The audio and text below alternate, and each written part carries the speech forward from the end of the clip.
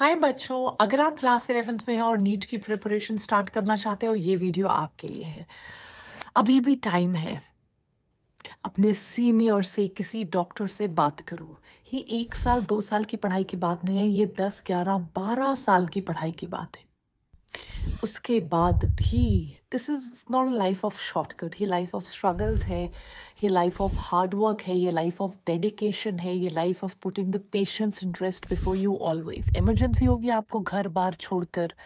Movie hall से उठकर जहाँ भी घूम फिर रहे हो वापस क्लिनिक में आना पड़ेगा I you ready for that kind of sacrifice Are you ready to spend long hours in clinics doing surgeries and helping patients?